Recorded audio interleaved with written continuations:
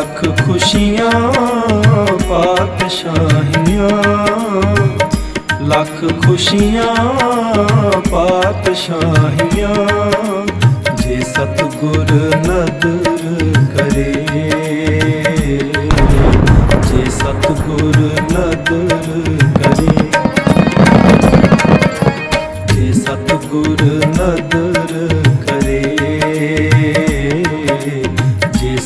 ਸਤਗੁਰ ਨਦਰ ਕਰੇ। ਲੱਖ ਖੁਸ਼ੀਆਂ ਪਾਤਸ਼ਾਹੀਆਂ। ਲੱਖ ਖੁਸ਼ੀਆਂ ਪਾਤਸ਼ਾਹੀਆਂ। ਜੇ ਸਤਗੁਰ ਨਦਰ ਕਰੇ।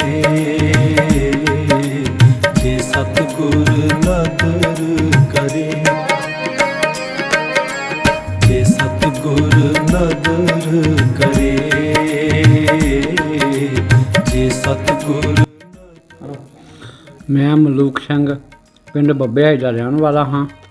ਲੈਂਡਮਾਰਕ ਬੈਂਕ, ਗੁਰਦਾਸਪੁਰ ਦਾ ਚੇਅਰਮੈਨ ਹਾਂ। ਮੈਂ ਪਿੰਡ ਵਾਸੀ, ਸ਼ਹਿਰ ਵਾਸੀ ਔਰ ਆਪਣੇ ਦੇਸ਼ ਵਾਸੀਆਂ ਨੂੰ ਦੀਵਾਲੀ ਅਤੇ ਬੰਦੀ ਛੋੜ ਦੀ ਲੱਖ ਲੱਖ ਵਧਾਈ ਦਿੰਦਾ ਹਾਂ। ਮੈਂ ਪਾਰਾ ਸਾਹਿਬ ਸਾਡੇ ਹਲਕਾ ਵਿਧਾਇਕ ਔਰ ਆਪਣੀ ਕਾਂਗਰਸ ਪਾਰਟੀ ਵੱਲੋਂ ਸਾਰੀ ਦੁਨੀਆ ਨੂੰ ਵਧਾਈ ਦਿੰਦਾ ਹਾਂ। ਔਰ ਮੈਂ ਇਹੀ ਗੱਲ ਕਹਿੰਦਾ ਹਾਂ ਕਿ ਜੋ ਕਿਸਾਨ ਆ ਕਿਸਾਨਾਂ ਵਾਸਤੇ ਜੋ ਮੋਦੀ ਨੇ ਇਸ ਟਾਈਮ ਮਾੜਾ ਟਾਈਮ ਆਂਦਾ ਹੋਇਆ, ਇਸ ਟਾਈਮ ਕਿਸਾਨ ਜਿਹੜੀ ਆ ਦਵਾਈ ਮਨਾ ਰਹੇ ਆ।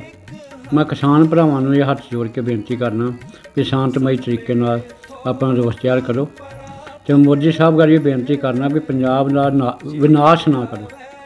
ਪੰਜਾਬ ਜਿਹੜਾ ਵਿਨਾਸ਼ ਹੋਣ ਰਿਹਾ ਇਸ ਕਰਕੇ ਪੰਜਾਬ ਵਿੱਚ ਮਜ਼ਦੂਰ ਤਬਕਾ, ਕਿਸਾਨ ਤਬਕਾ ਬਿਜ਼ਨਸਮੈਨ ਸਾਰੇ ਹੀ ਇਸ ਟਾਈਮ ਬਰਬਾਦੀ ਵੱਲ ਜਾ ਰਹੇ ਨੇ।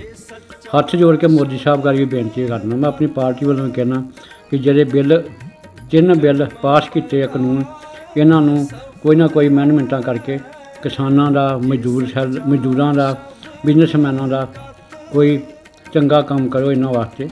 ਇਹਨਾਂ ਇਹਨਾਂ ਦਾ ਕੋਈ ਆਪਣੇ ਵਿੱਚ ਸੁਧਾਰ ਹੋਵੇ।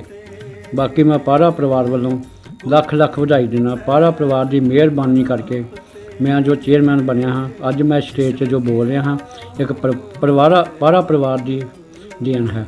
ਪਾਰਾ ਪਰਿਵਾਰ ਜੋ ਐਮਐਲਏ ਸਾਹਿਬ ਬਰਿੰਦਰ ਮੀਤ ਹਨ, ਇਹ ਬਹੁਤ ਚੰਗੇ ਸੁਭਾਅ ਦੇ ਹਨ, ਬਹੁਤ ਵਧੀਆ ਬੰਦੇ ਹਨ, ਹਲਕੇ ਦਾ ਬਹੁਤ ਵਧੀਆ ਵਿਕਾਸ ਕਰ ਰਹੇ ਆ।